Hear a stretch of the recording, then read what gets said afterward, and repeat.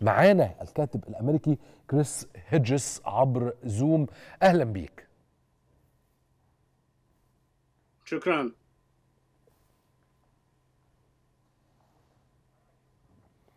أه شكرا. أنت تتحدث العربية جيدا أم أنها مجرد كلمات؟ شوي. أنا نسيت كل العربية.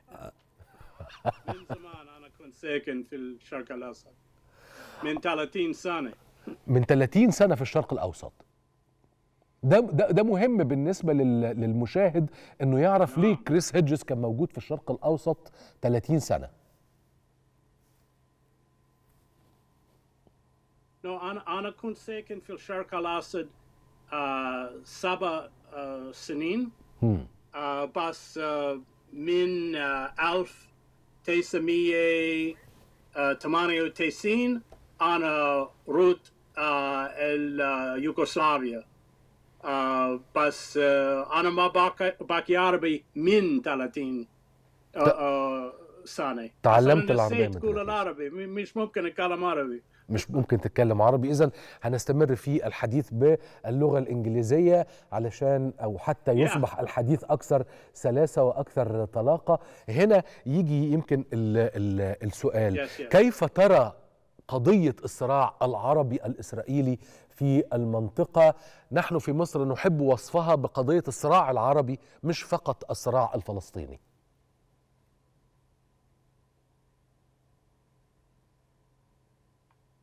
Uh, بالطبع. في البداية أقول أنها أنها. إبادة جماعية. لا لا يوجد أي شك بخصوص هذا الأمر.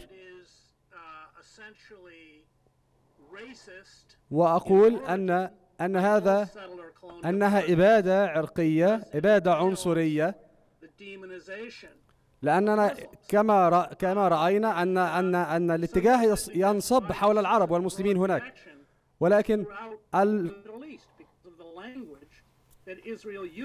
لأن اللغة التي تستخدمها إسرائيل تجاه الفلسطينيين هي لغة عنصرية مصطلح إبادة جماعية وتطهير عرقي مصطلح غير متعارف عليه في الصحافة أو الإعلام أو السياسة الأمريكية أو حتى الأوروبية بل تكاد الصحافة الأوروبية وأيضا الأمريكية تخلو من استخدام هذه المصطلحات بل وأحيانا يتم الاعتراض على استخدام المصطلحين حول ما تقوم به إسرائيل في المنطقة.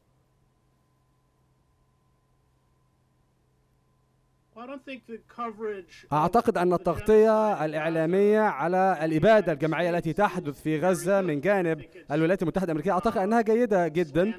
آه الأمر يمر بسلاسة.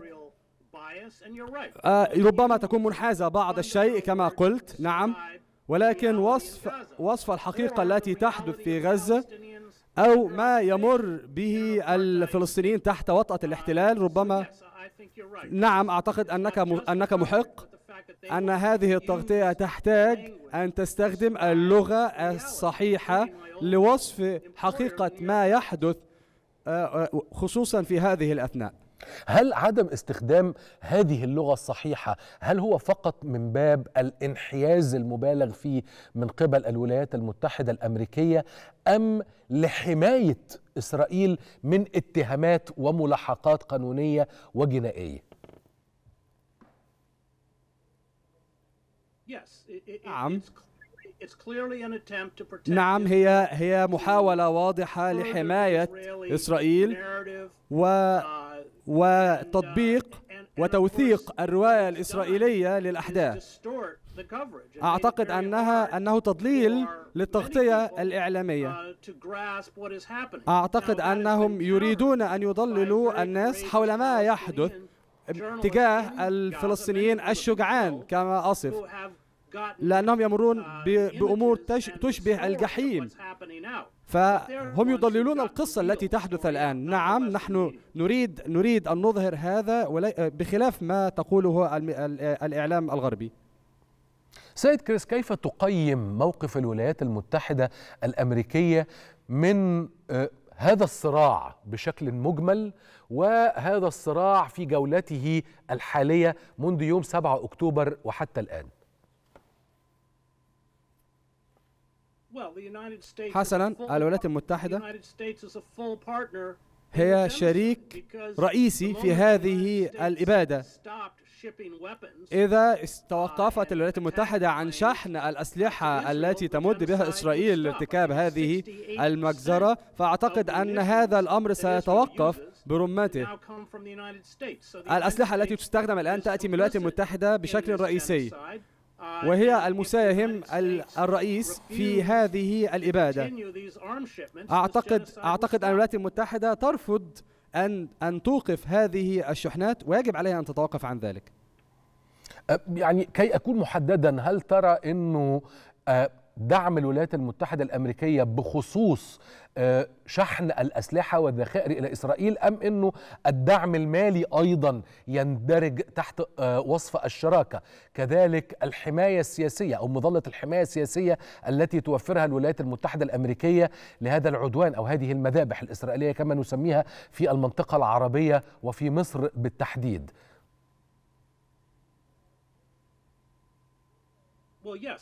نعم بالطبع. إذا إذا نظرت إلى ما يحدث في اليمن فاليمن الآن تحجب مسار السفن. ولكن من ناحية أخرى الأردن والسعودية قد صنعت طريقا للتجارة مقابل ما يحدث في اليمن في البحر الأحمر. فهذا الضغط الذي تمارسه الولايات المتحدة الأمريكية يحمي يحمي إسرائيل بشكل أساسي و, و يمكن أن نقول أنه يساعد في استمرار هذه الإبادة الجماعية. إذا لماذا تصر الولايات المتحدة الأمريكية على مد مظلة الحماية السياسية والمالية والدعم بالسلاح والدعم لوجستيا لإسرائيل خاصة وأنه هناك الكثير من التظاهرات في عواصم ومدن حول العالم من بينها ولايات ومدن أمريكية من بينها عواصم أوروبية فأصبح الموقف يكاد يكون فضائحيا لو صح التعبير.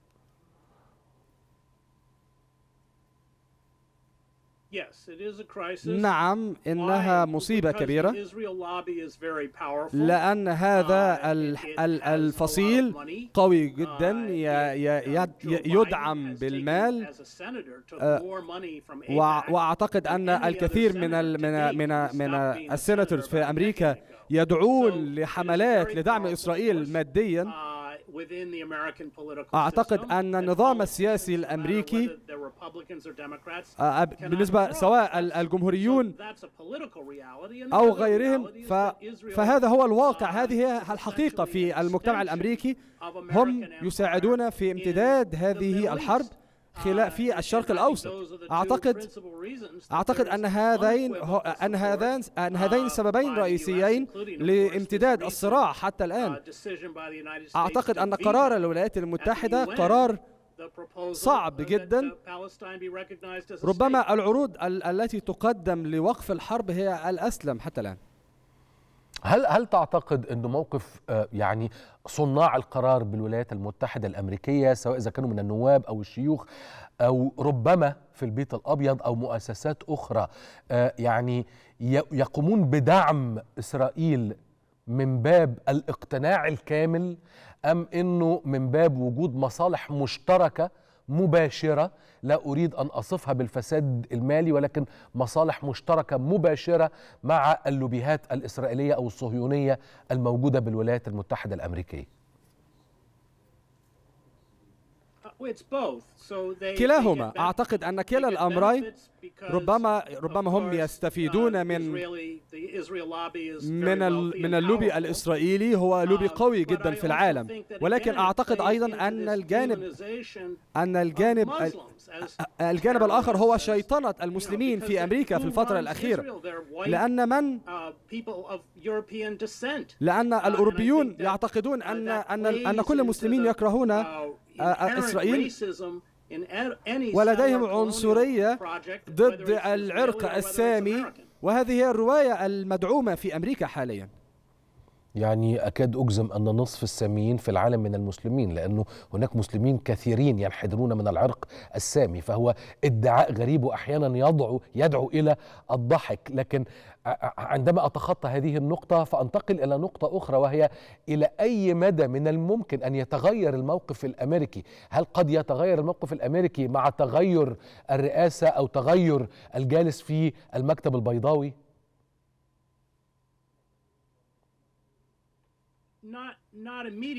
ليس حاليا. أعتقد أننا سنرى أعتقد أننا نرى الشباب الشباب الأمريكي الآن يعتصم أو, أو يعتصمون ويتظاهرون تجاه ما يحدث في المدن في خلال المدن الأمريكية. ف ولكن الآن آه كبار السن في أمريكا صناع القرار من لديهم القوة في أمريكا. هم مصرون على رأيهم والاتحاد مع إسرائيل. ربما لن نرى هذا الآن ولكن ولكن الضعف الذي تعانيه الذي يعانيه تعانيه هيئة صناع القرار في أمريكا هي ما ستدعو الشباب لتغيير هذا الأمر قريبا. هل هل هل ترى أن هذا الموقف الحالي قابل للحل أو على الأقل لتحريك هذه المياه التي لا أستطيع وصفها بالركود لأنها مياه متحركة ولكن من جانب واحد وهو العدوان الإسرائيلي المستمر على الأراضي الفلسطينية هل من الممكن الوصول إلى حل؟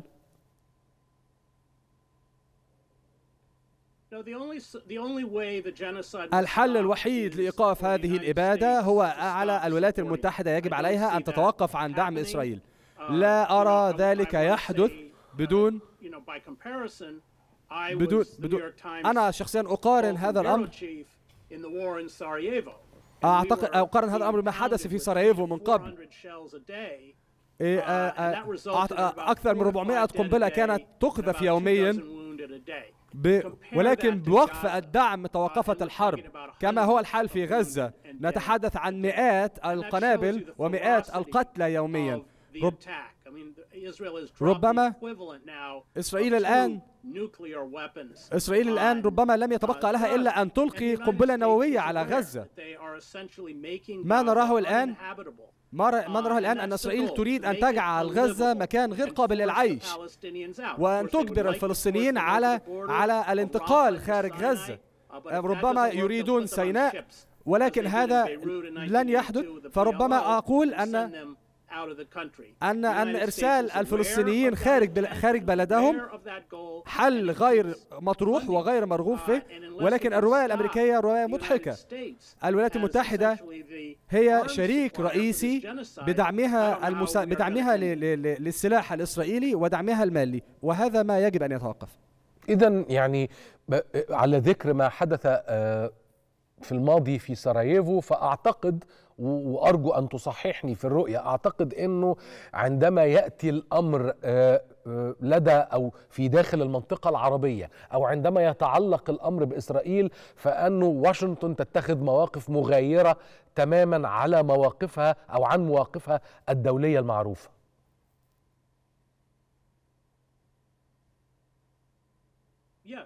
نعم. نعم أتفق تماما. الولايات المتحدة الأمريكية. لديها معايير مزدوجة. وما رأيناه خلال آخر عشرين عاما في العالم الإسلامي الجرائم التي كانت ترتكب في العراق في أفغانستان في سوريا في ليبيا. نعم. نعم هناك ازدواجية كبيرة للمعايير حينما يأتي الأمر بالنسبة لإسرائيل. فأمريكا لا تفعل شيئا. ربما إذا كانت هذه دولة عربية كانت أمريكا تعترف أنها إبادة جماعية. ولكن أعتقد أن الحماية الأمريكية لإسرائيل وعلى ما نراه من إعدام للعرب سواء كانوا مسلمين أو مسيحيين في فلسطين في السودان ربما هذا هو بسبب الحماية الأمريكية.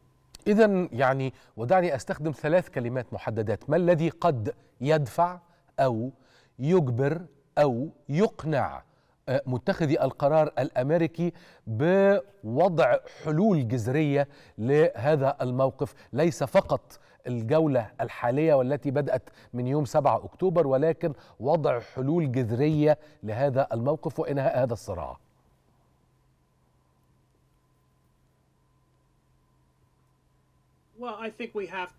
أعتقد أننا يجب أن نرى أن نرى أن نرى تغير جذري في الثقافة الأمريكية والتفكير الأمريكي والذي والذي يجب أن يكون عن طريق اتحاد المجتمع الأمريكي ضد الصهيونية وضد ما تفعله إسرائيل.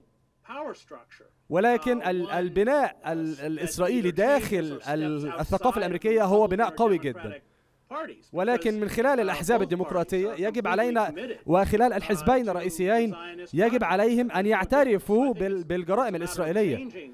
أعتقد أن الأمر يعتمد على تغيير طريقة التفكير الأمريكية.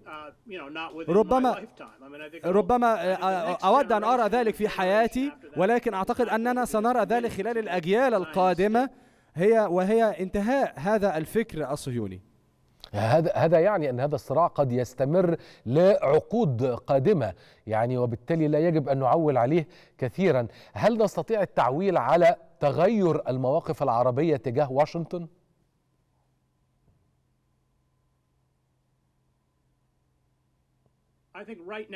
أعتقد, أعتقد حاليا لن يحدث أي تغير في القرارات في المواقف. أعتقد أن أنه يجب علينا إنشاء أولا عملية ديمقراطية. وبعد ذلك نرى التغيير. ولكن ولكن ما يحدث في غزة لن لن لن يتغير سواء كان بالرئيس الأمريكي الحالي أو برئيس قادم. هل هل هل من الممكن إنه المجموعة العربية تصل إلى قناعات مشتركة ما بينها وما بين واشنطن بأن المصالح الأمريكية قد تهدد وهنا لا أعني العنف على الإطلاق وإنما العلاقات ما بين الدول العربية وما بين الولايات المتحدة الأمريكية فيها علاقات الاستثمار، علاقات الاقتصاد، أيضا علاقات الدعم السياسي المشترك وما إلى ذلك فقد تتغير هذه المواقف فيحدث تهديد ما للمصالح السياسية والاقتصادية والاستثمارية الأمريكية في المنطقة.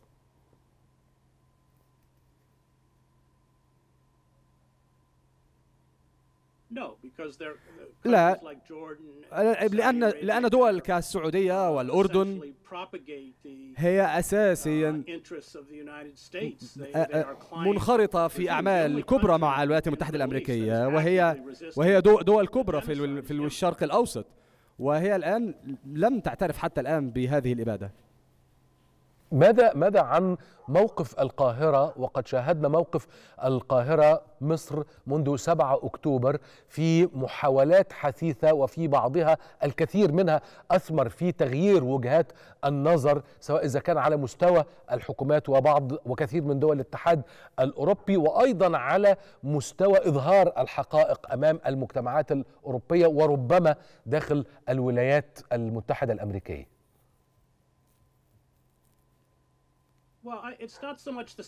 أعتقد أعتقد أن موقف أعتقد أن موقف القاهرة كان واضحا موقف مصر ومبعوثي مصر كان موقفهم واضح تجاه غزة.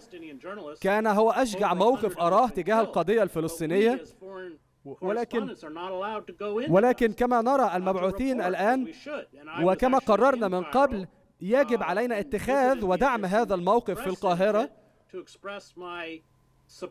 وأنا وأنا أود ان أن أظهر دعمي الكامل لهذا الموقف تجاه غزة.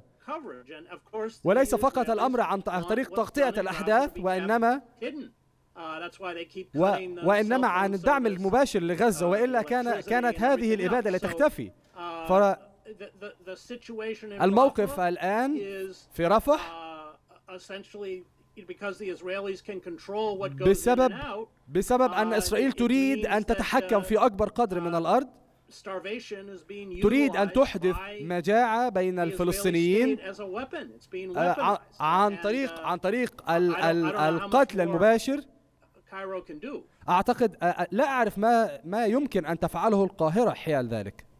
يعني القاهرة وبالتأكيد يعني تعلم جيدا أن هناك الكثير بل تكاد تكون العشرات من الاتصالات التي تمت ما بين القاهرة ولندن القاهرة برلين القاهرة روما القاهرة مدريد القاهرة باريس القاهرة واشنطن لإيجاد حلول ولو مؤقتة منها الهدنات قصيرة الأجل أو طويلة الأجل منها تبادل المحتجزين والأسرى من الجانبين ثم الوصول فيما بعد إلى ما نرجوه جميعا ألا وهو حل دولتين. ومن ثم إلى أي مدى القاهرة قادرة على إحياء مفاوضات مدريد أو اجتماع مدريد 91 ثم أوسلو 1993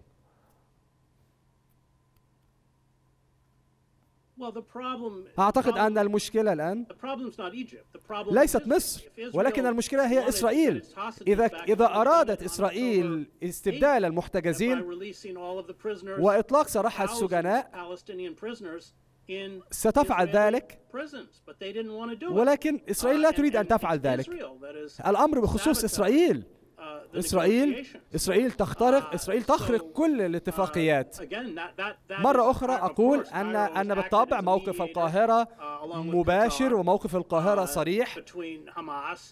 القاهرة دوما ما كانت تنسق ما بين حماس وإسرائيل وتعمل على الهدنة. والتضحيات التي تبذلها القاهرة كبيرة ولكن الأمر بخصوص الناس الآن. الكثير من الشعوب تقيم مظاهرات ضد نتنياهو وأيضا داخل إسرائيل. والكثير من الشعوب ترفض ما يحدث في غزة الآن.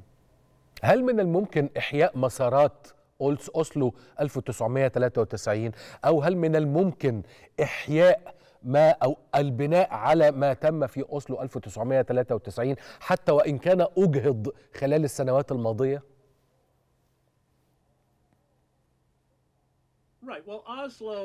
أعتقد أن أوسلو أعتقد أن حل الدولتين هو حل ميت. ليس مطروحا الآن أمام الحكومة الإسرائيلية. ليس فقط بخصوص ما حدث في غزة ولكن أيضا في الضفة الغربية. أعتقد أن حل أوسلو كان يرنو كان يرنو إلى إلى جعل الفلسطينيين أحرار وأن يوقف الاحتلال الإسرائيلي وأن وأعتقد أن الرئيس ان أن قرار الرئيس ياسر عرفات وقتها لم يكن كافيا لأن الحكومة الإسرائيلية لم لم توافق على ذلك. هل تحتاج إسرائيل إلى ربين جديد؟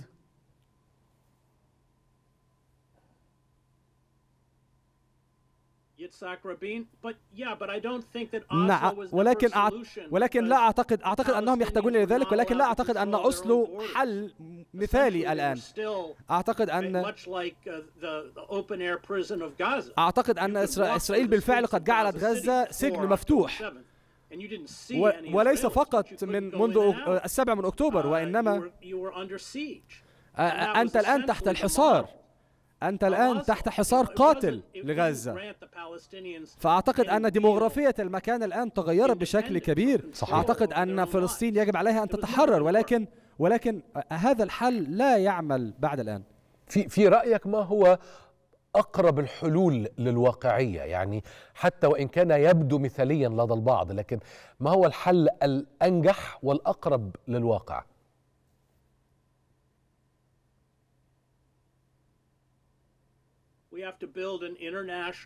يجب علينا أن نبني خط اتصال دولي ضد إسرائيل وضد سياسات إسرائيل كما فعلت جنوب إفريقيا من قبل. يجب علينا أن ندعم هذا قرار قرار المحكمة. ويجب علينا أن نحاصر إسرائيل اقتصاديا سياسيا وعلى المدى القصير سنرى حل لأن طالما كانت الولايات المتحدة الأمريكية تدعم إسرائيل عن طريق السلاح عن طريق المال فإسرائيل ستستمر في ما تفعله.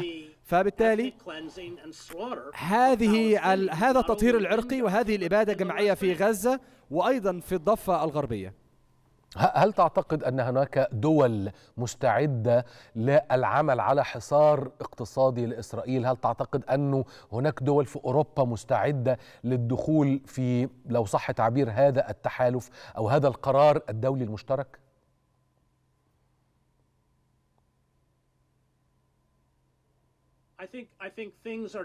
أعتقد أن الأمور تتغير في أوروبا الآن.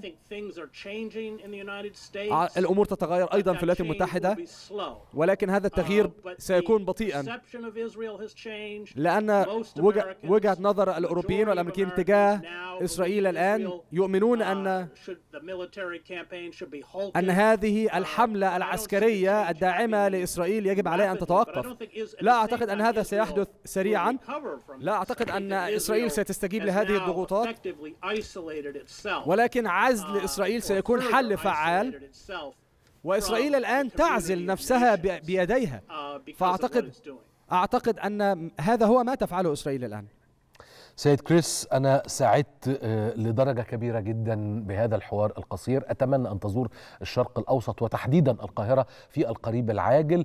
أبدي إعجابي الشديد باستخدامك دائما. كلمة يجب علينا نحن أن نعمل كذا ونفعل كذا تجاه إسرائيل. فأشكرك على استخدام هذا المصطلح وعلى هذه الروح. وأشكرك جدا على إعطائي هذه الفرصة. يا من لطفك. شكرا كثير. شكرا كتير جدا. كل الشكر لله الكاتب الأمريكي الشهير كريس هيدجز.